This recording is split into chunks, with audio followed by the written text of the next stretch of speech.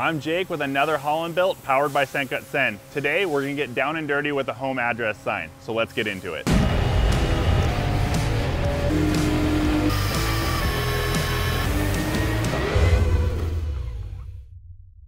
For the street sign, we don't actually care about any specific dimensions. So we're gonna have an overall dimension that I kind of copied off the old sign, and then I'm gonna space it and have a back plate and a front plate. So there's gonna be two parts of this design.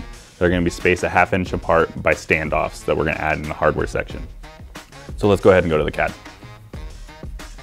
We're gonna start by just drawing an arbitrary rectangle and assigning some dimensions. Um, this sign is about 10 inches by six inches. So we're gonna start there.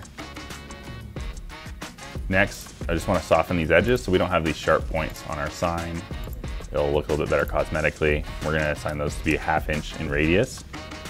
And then lastly, we're gonna add in our through holes. And this is gonna be the backer plate to start.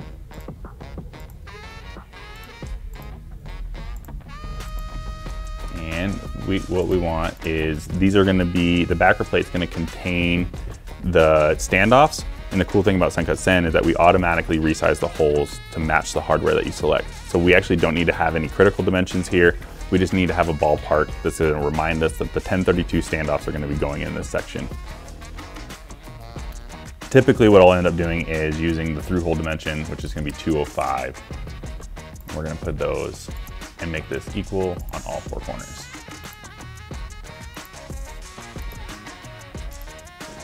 Now that we're done there, we're gonna go ahead, create our sheet metal flange. Whenever I'm doing stuff, I typically try to use sheet metal. And now we have our backer plate.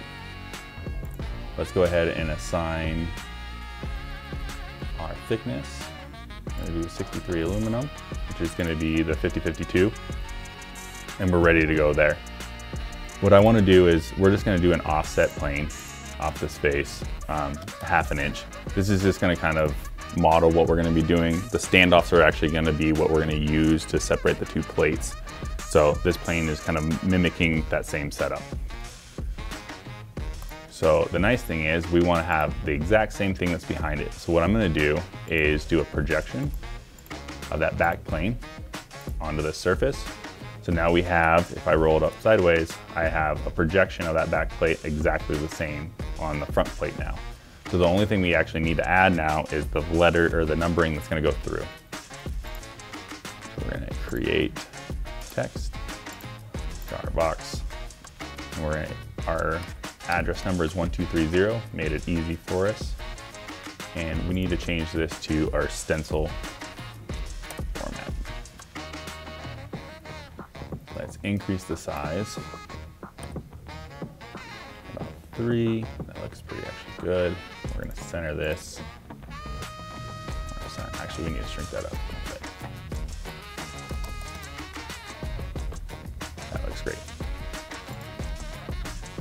So actually, if we go back in that sketch now, what I can do is assign the center of this all the way through.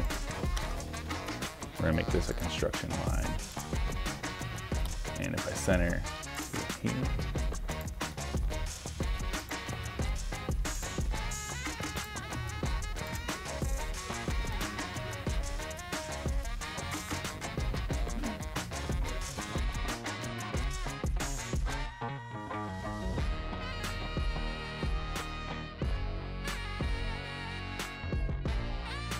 Okay, so now we have that nice and centered. I can do an extrude. We can pull, actually we're gonna do a sheet metal. We're gonna do a flange, pull this through.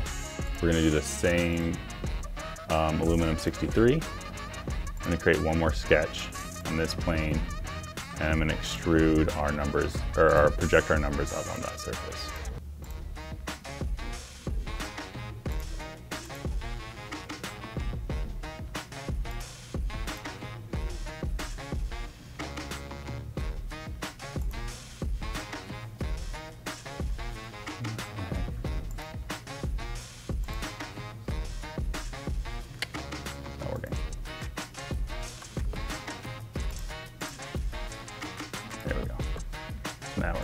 Through. And we can hide our sketches. And now what we have is a one, two, three, zero sign. We're gonna have two different plates. We're gonna powder coat the rear plate black to have a good contrast of the lettering going through. So let's go ahead and create our DXFs now. We'll put them on the website and we're gonna go through how we're gonna add that hardware and powder coating.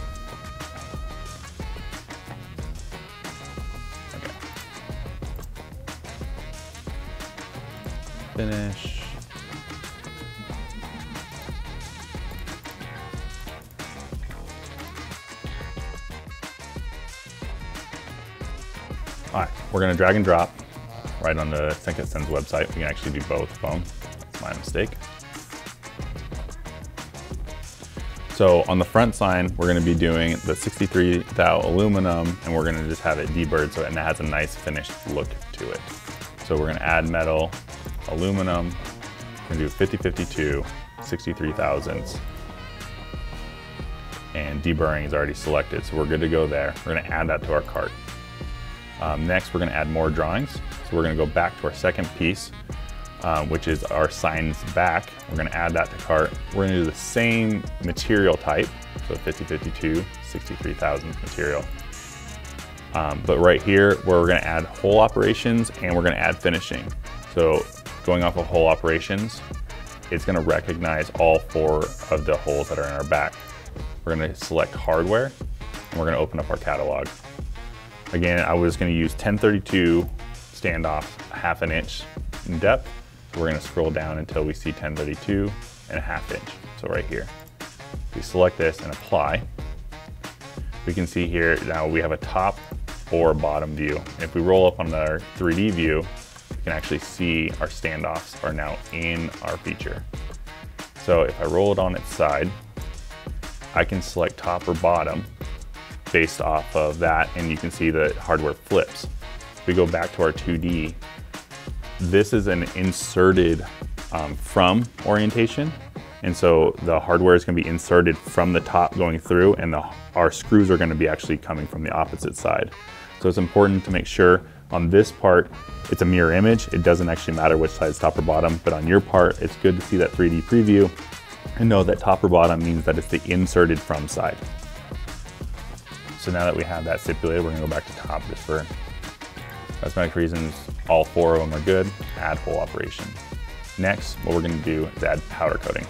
So we're gonna select our service, powder coating, and then you can see all the different colors that we offer currently right now. We're gonna go ahead and do a gloss black and add that powder coating. So we can see here also now our preview has turned black just to make sure that we understand that we added a color to that. And we can also see it here it's also important to note that we will have thread protection, but the standoffs themselves will have powder coats on the outside of the standoff, but not on the internal threads. Lastly, we're gonna add the cart and view cart. So now we can see our two different um, parts, our front and our back, and we're ready to order. So let's go ahead and take this to the manufacturing floor.